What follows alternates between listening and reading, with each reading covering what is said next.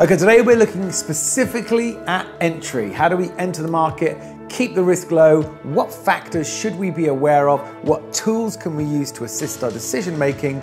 Where do we set our profit targets? And how do we make sure we protect ourselves from the unknown? We're going to be teaching you this right here, right now.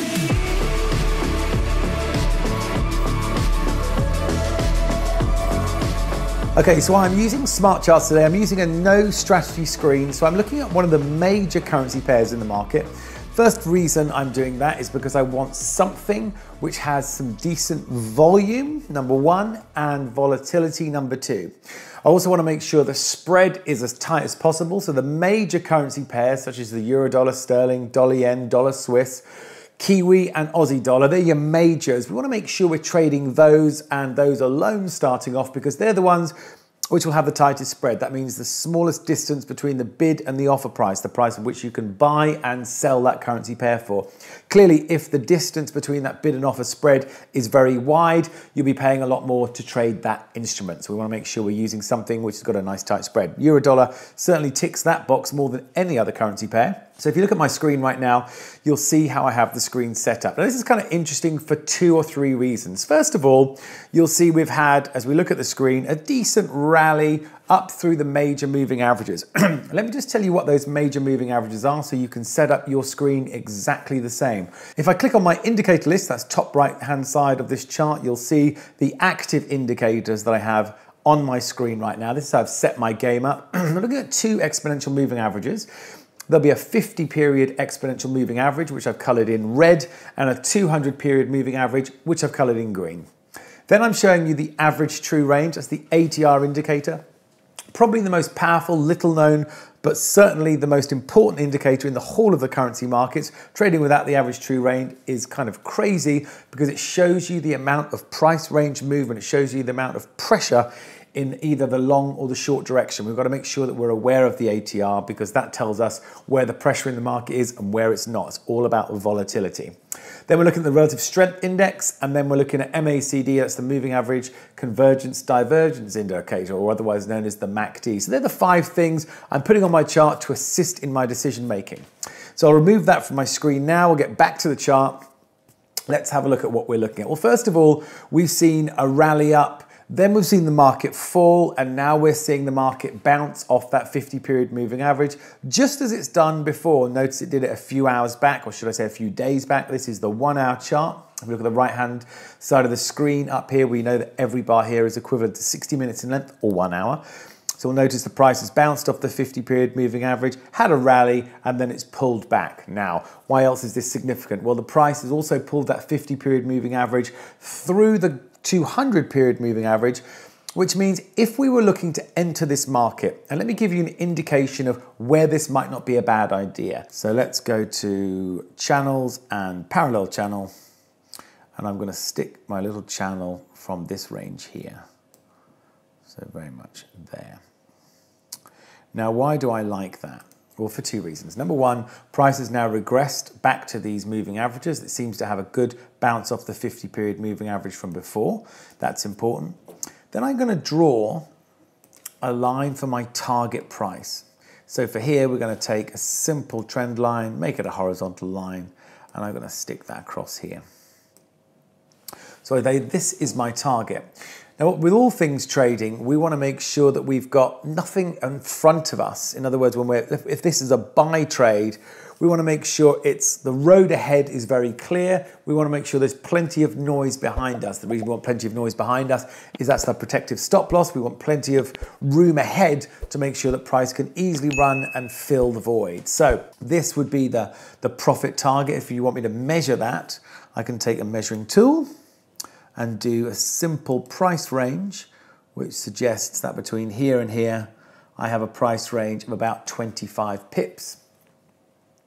Uh, I would look to put my stop loss below this moving average line. So uh, my stop loss, I'm going to draw in for you, would be, uh, if we take a trend line and a horizontal line here, would be just underneath this 50 period moving average. You can see how much that 50 period moving average has uh, protected the price from falling further previously. And so we've got the basics of our trade setup. We're looking for an entry as it breaks over the top of this channel line here, but I need to know a little bit more than that. This comes in, this is where I jump into my indicators, where it really helps out. So first of all, let's take a look at the MACD. Great entry indicator, really assists in the decision. I'm going to increase this so we can see it. So what we're looking for here is this red line to break up through the dotted line. That gives us an indication that buyers are now more in control than sellers. That's an indication that will assist in the entry. Now we want to be entering on small bars. So if the bar range is certainly very large as we enter, it might indicate that the entry itself is not particularly elegant.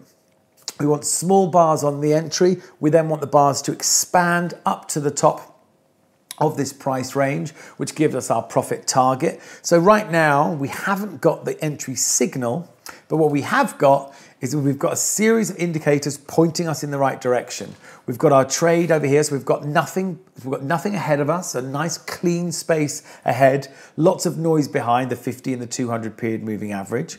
We've got the average true range, if I now change my mouse to a crosshair, I can see what the range of this currency is, and you can see that the range of the euro dollar right now is about eight pips. So if you look on that, it's 0.008, so that's eight pips of movement. That's what we expect this to move around. That means that my stop loss needs to be a buffer of at least eight pips away from my entry price. So if my entry was, for example, at uh, 1086, so 1086, then my stop loss needs to be at least south of that, which would be uh, 105 It's fine. Where that, where that 105 is would be completely acceptable. That means it's at least eight pips away. So I'm comfortable that my stop loss would be fine on this blue level here.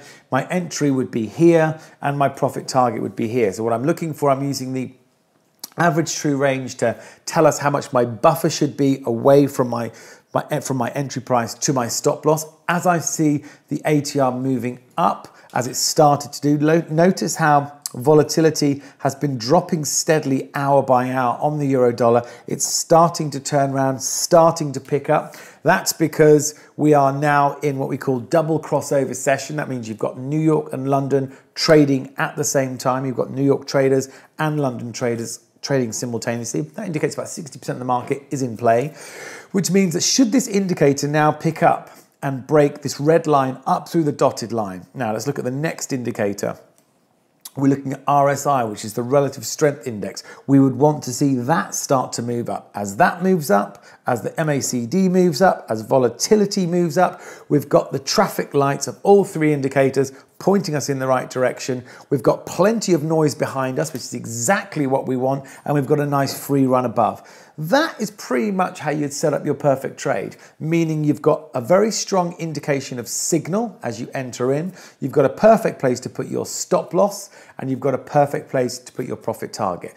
So if I set that up right now, I literally hit the green button, you'll see the screen then goes green, indicating to you as a trader I am looking at going long. I click that button, and all I now do is I line up my target lines, my take profit, which now goes to here, I put my stop loss consistent with my lines here, and I put my entry just about here, which means I'm looking to make uh, 29 pips of profit. Uh, I'm looking to risk 12 pips, which means I'm looking at making a profit target of 4,691. I'm risking 1,999 to do it. I've at least got nearly a two, well, at least a two to one risk reward. I'm happy with that. Trade looks great. It's all lined up. My expiry on this position, it says no expiry. Uh, I'm happy to run this position until the end of the day. So I'm going to click end of day. That means my position has now got an expiry until the end of the day. You'll see those dotted lines now appear on the chart, which says if it doesn't happen within this time frame of reference, then I'll remove the trade from the table. Um, we are risking 2%. Very happy. I can tag this if I wish to put Greg's example. So when I look at this uh, in later in later videos, we can pluck it out. So I'll just put Greg's example one, and then I hit the green button, and that trade is then logged. And that's pretty much how you do it.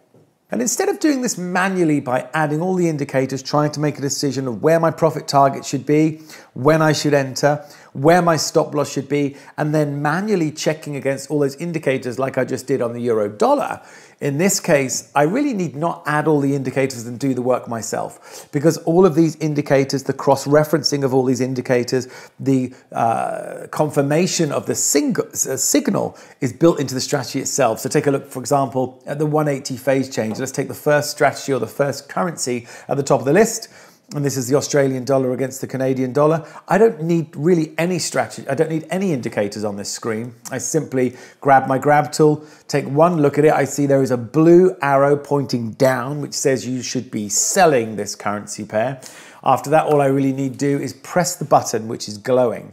That then gives me the parameters of this trade. It tells me what the most important three things, where I should place my stop loss, where I should place my sell entry, and thirdly, of course, where I should take my profit. Now I can amend those if I want to, but if I trust what the platform is telling me, which in this instance I certainly do, I then hit the green button and that trade and that order is placed in the platform and it is ready to trigger when the price hits that price target. So if you like this video, don't forget to hit like. If you haven't subscribed to this channel already, make sure you do that. I'll be sending you weekly videos of my trading tips, strategies, and all and everything in between. Until then, I look forward to seeing you on another trading video.